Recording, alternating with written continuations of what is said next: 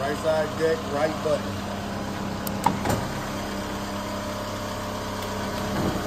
Middle one, left feet. And then the other, left, left, uh, lock up, left side button.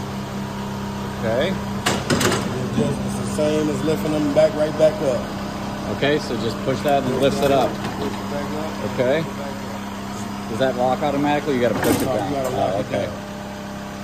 Gotcha. Okay. This one just come off and lock by itself. Okay. This one the same way. You gotta lock the uh the other side.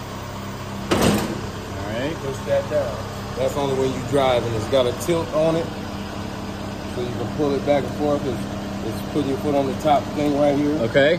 Pulling it back and forth. You go forward. Push it forward. You go backwards. You push it down. Okay. Okay. Brakes work.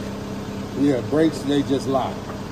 They just the brakes lock like that. You press this down and it locks. How do you disengage them then? disengage you just step on it hard. and hit it. Ah, I gotcha. And then how do you engage the blades when you're out there? This is the yellow button. Once you drop the decks first, pull it up. Okay, and how fat? What do you do with these? This is the speed. That's the speed. So do you do this first or that first? You turn the speed up first. Speed up first, then engage. After, after you drop the blade. After everything. Okay.